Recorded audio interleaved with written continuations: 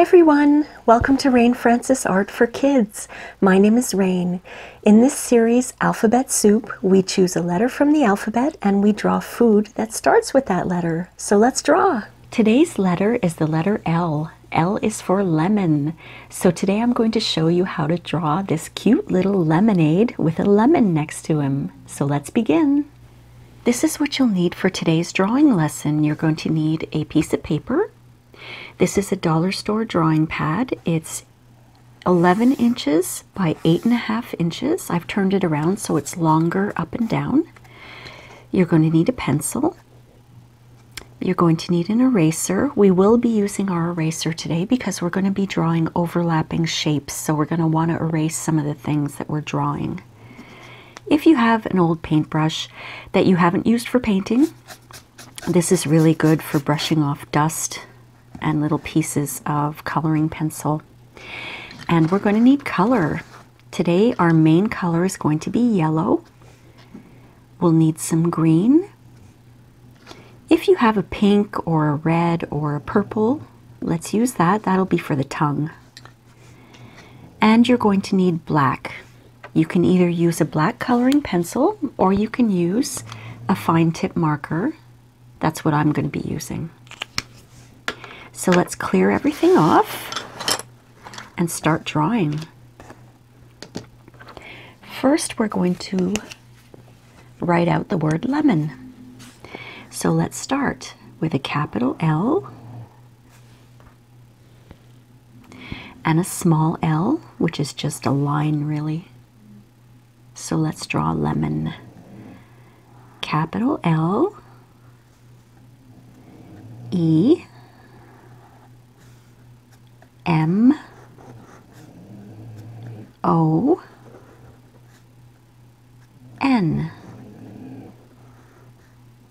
for lemon. And you can make delicious lemonade with lemons. So that's what we're going to draw today.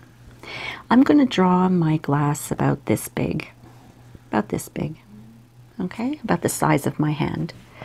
So I'm going to start by drawing a straight line, but not quite straight up and down. I'm going to slant it a little bit, but not too much. Just watch what I do here.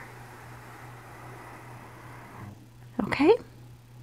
Just slant it a little bit. And the same thing on this side here just slightly, slightly slanted. And for the bottom, we're going to draw a line, but not straight across. It's going to come, come kind of in a roundish shape, like that.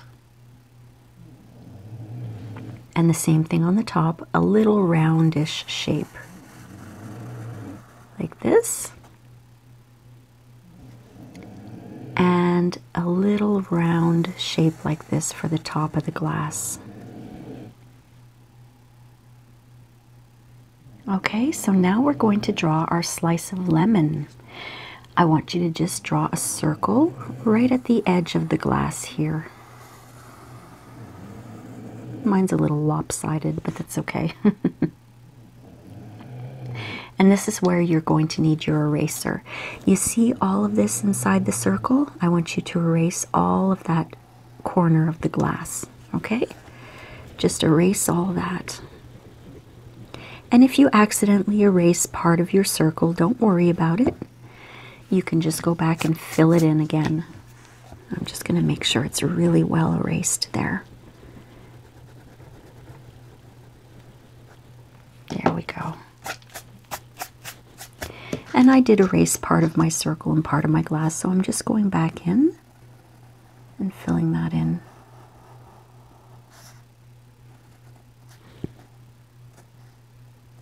There. Now, inside of this circle, we're going to draw another circle, and it's going to be close to the edge like this. This is going to be the rind of the lemon. Not too skinny, but not too fat either. Okay? Now inside here, I just want you to draw a small circle. And from the edge of that small circle, watch, I'm drawing little kind of triangle shapes like this. That's the inside part of the lemon. It doesn't have to be perfect. There we go.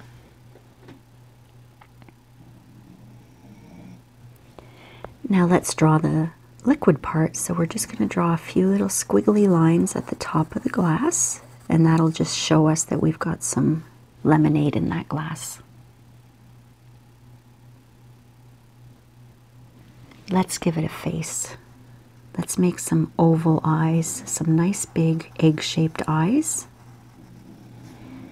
and another little oval on the inside near the bottom.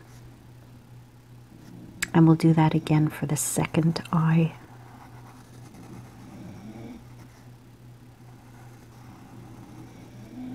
There we go. And let's give him a big smile. and a little tongue sticking out because he's delicious. Okay? And we'll give him some arms too because he's a very happy glass of lemonade. Just like this, and then three little fingers. Now let's draw a lemon. Now watch what I'm doing. I'm going to overlap the glass. I'm going to start at the top, around, with a little bump at the end, and then up like this.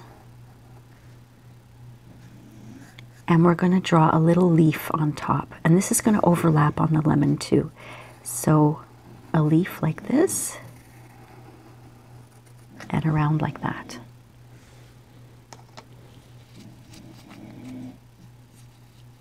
So what I'd like you to do is take your eraser and erase these two lines here and this line here.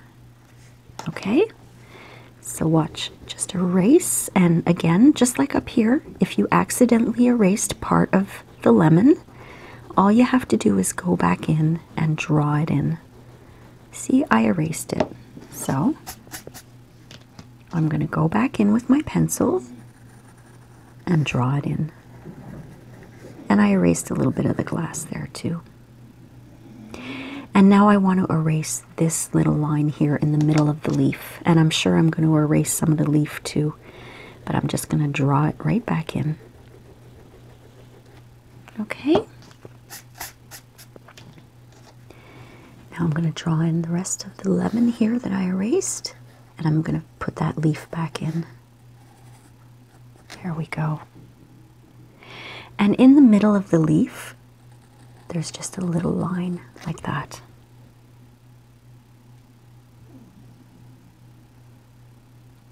Now on top of the lemon, I want you to just very lightly, I'm going to draw it hard so you could see it, but just draw a little kind of, a little shape. It doesn't have to be anything special, just a little kind of squiggly shape, shape there, because we're going to be putting more color onto the most of the lemon and less color here so it looks like a highlight. But when we get to that, I'll let you know. Okay, so our lemon is all drawn out. Now we can start to color. Let's start with our yellow because we're going to be using a lot of yellow. Why don't we start with our lemon wedge here? What I want you to color in yellow is the whole outside part here. That's the rind. And also all of the inside here, but leave that little circle white. Okay? So let's begin. Let's just color in the whole thing except for that little circle. If you're using coloring pencils, or even if you're using crayons for this lesson, don't forget to turn once in a while. That way, you're not going to break the tip and you're not going to wear down your pencil or your crayon on one side.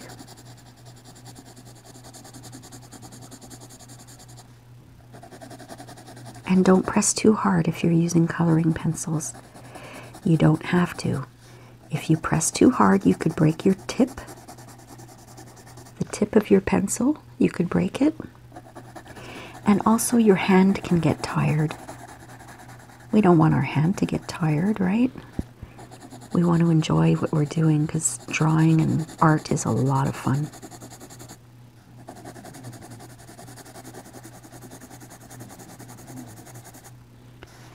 So I'm just filling in the entire lemon wedge except for that little circle.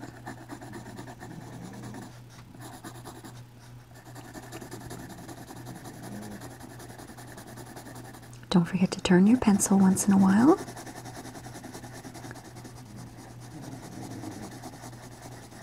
This is a great drawing to do during the summer. I love lemonade in the summer. Okay, I'm going to go back and I'm going to put in a second layer. Turning my pencil. Second layer all over, over the whole lemon.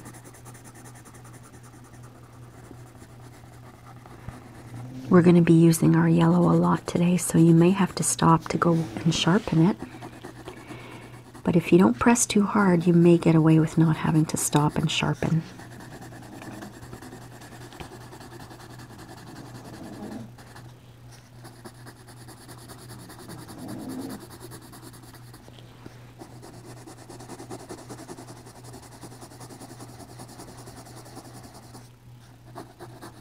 Don't forget to turn your pencil once in a while. When you see me going like this with my hand, it's usually because I'm flipping my pencil around. so that's how often I do it. Because I don't want to have to buy a lot of art supplies because everything is so expensive now. I want my supplies to last a long time.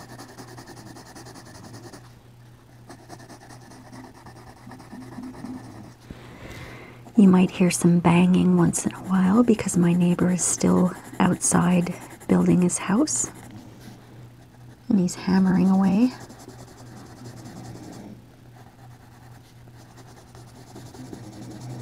And my dog Jack is snoring.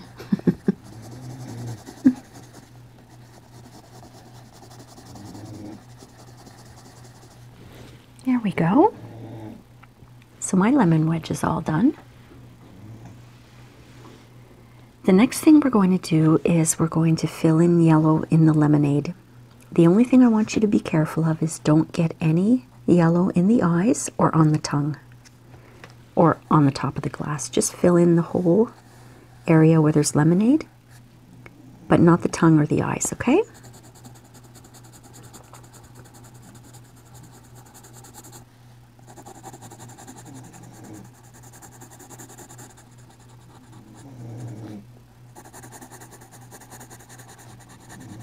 I'm just being very careful not to get any yellow on the top here.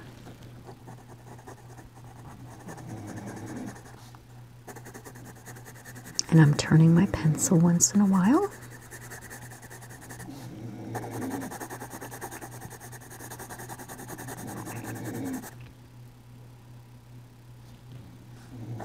My dog is really, really out. He's snoring very loud. Uh, he just opened his eyes and looked at me.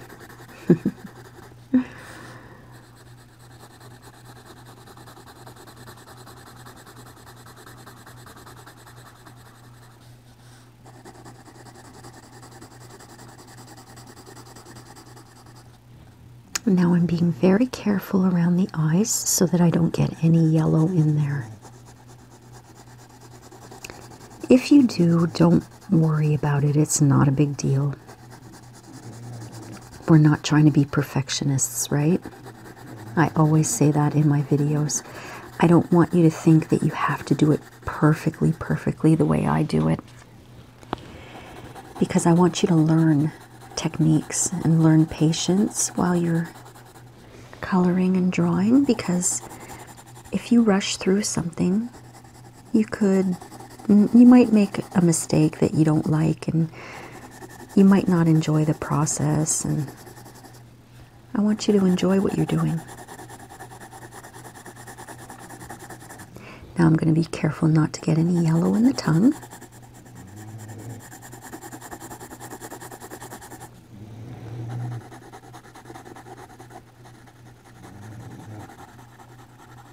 The way I color is I color in circles like this. I don't like to use straight lines because I find that they show. Unless I want them to specifically show, I don't I don't like seeing straight lines.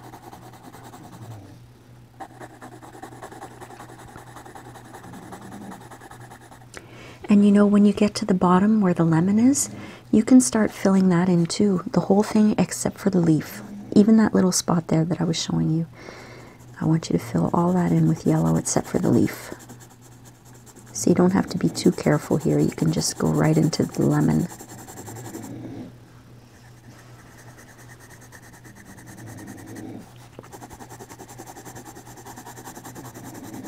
Last summer, I made an amazing lemon ice cream pie. It was so good. Look at this. I'm going to show you a picture. If you like lemon, you're going to drool over this. this was so good. And I will leave the recipe link in the description below in case mom and dad are watching and they want to try making it because it is so good. Ice cream and oh my gosh. Delicious, delicious, delicious but very rich, not something you can eat too often.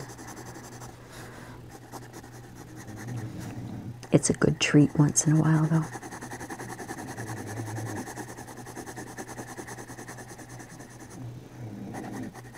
All right, how you guys doing?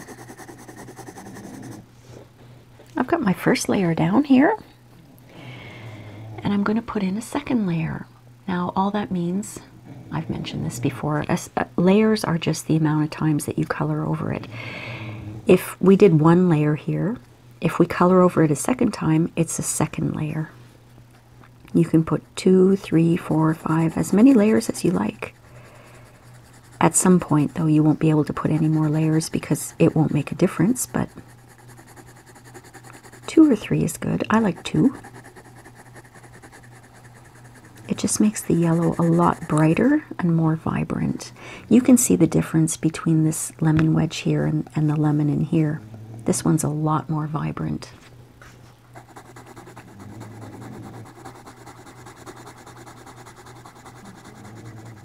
I'm being careful around the eyes not to get any, I almost said not to get any lemonade in them.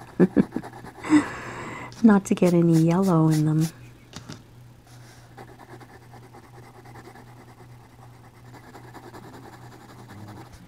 I think after this drawing, I'm going to go and make a pitcher of lemonade. Have you ever drank pink lemonade? I don't like it as much as the regular stuff. Oh, and you can also make like a, a lemonade but with limes. It's called a limeade. And that tastes good too It's green, just like limes.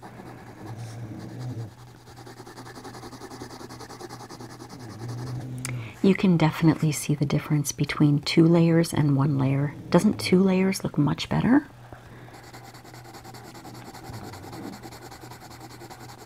I'm turning my pencil. And you know, when you do layers, you don't have to press hard because the color will come off just and fill everything in.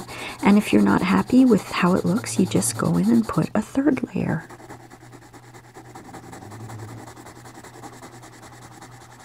I'm going to be careful not to get any yellow into the tongue. Even though I'm sure he would like to taste some lemonade here.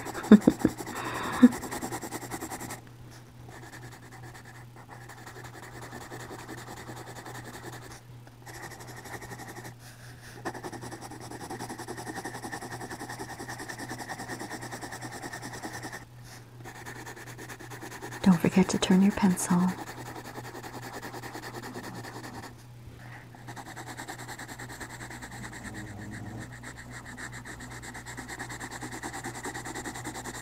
All right.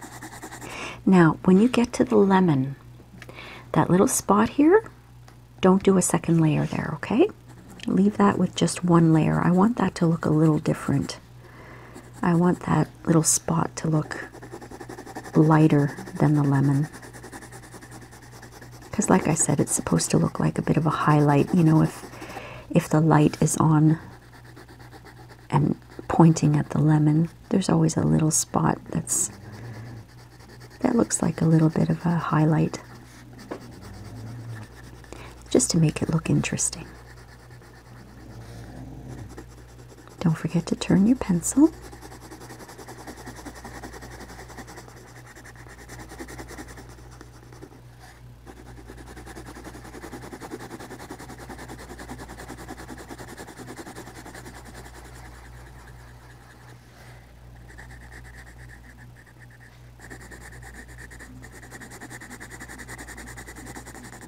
Okay, I'm just going to go over a few areas that I think need a third layer just because they might look a little whiter than the rest, but I'm just doing it really, really quickly.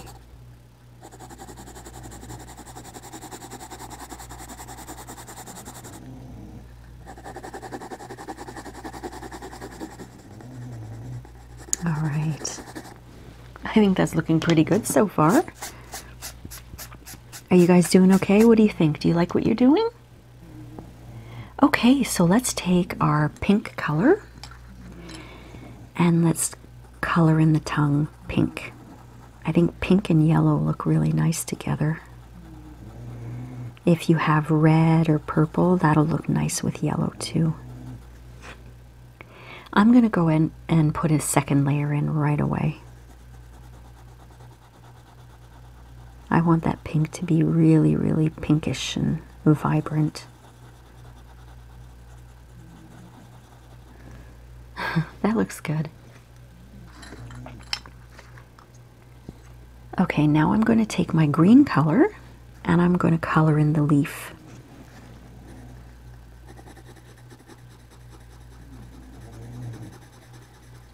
I used to have a lemon tree, which is weird because I live in I live in Canada and I had a lemon tree. It was in a pot and uh, it was hard to keep it going because it was it's so cold here. But uh, the first year it gave me four lemons. I'm just going to go in and put in a second layer of green as I'm talking. The second year it gave me nine lemons and the third year it didn't make it. It was just too cold. I, I kept it inside in winter, but we didn't have much sun that third winter and it didn't make it, which is too bad. But I was really happy I had a lemon tree. I should try to get another one and see if I can get some lemons out of it here. Okay, so that's done. Now, I'd like you to take your black color if you've got a marker. You can use a marker or you can use a black coloring pencil. Or if you don't have any of those, just use your pencil or a crayon, whatever you like. And I'm going to go and I'm going to outline the eyes, okay? With black.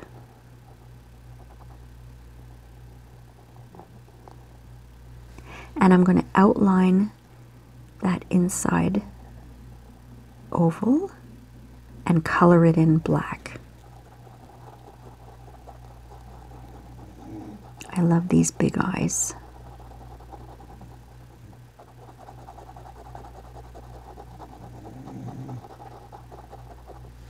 There we go. Same thing for the other eye. Just outline it with black. We're just doing this to make it stand out. And the pupil as well. And fill in that pupil with black.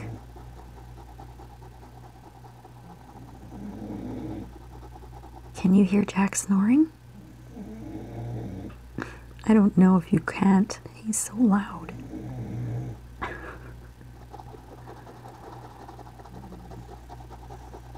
There we go. Okay, so now what I want to do is I'm going to I'm actually going to outline the whole thing. I never used to do that before, but I just love how it looks. So I'm going to very carefully go over the entire drawing with black. Like I said, I really love how it looks. Going to be careful. You don't have to do this if you don't want to, but I'm doing it. Takes a steady hand, and it's really good practice. And you know what you can always do, like I'm going to do here? I'm going to show you. I took my marker and I went a little over, so there's some white showing. So, what you can do is just go in and fill in a little yellow. You can always do stuff like that, you know? But this is good practice for drawing.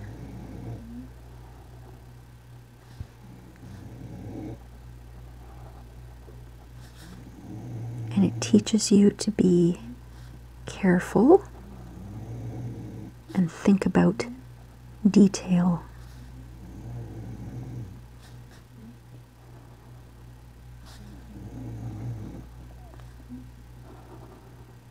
Whew. I was nervous with that one. I don't know why. Okay, I'm going to go and do the whole glass here. Oops. I went outside the line a little. That's okay. And while I'm on this side, why don't I outline his happy hands?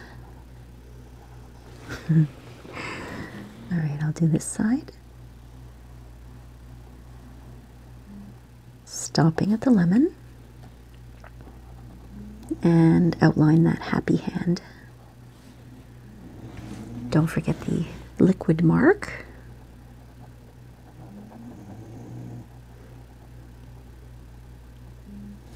And why don't we do his mouth and his tongue? And I think I'm going to give him some cheeks. To give cheeks, you just do little semicircles like this at the top of the mouth, and it makes it look like he has cheeks. How about some eyebrows? There. now I'm going to go and outline the rest. The only thing I'm not going to outline is that little lighter spot there.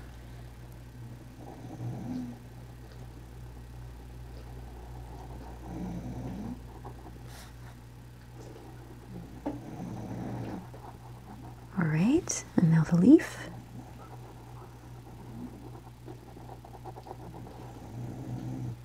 And that little line in the middle. And if you want, you could have added a few little lines like that for the leaf. What do you think, guys? Doesn't that look cute? How's yours looking? I hope yours looks cute too. That was a lot of fun. Now, don't forget, I want you to sign your work.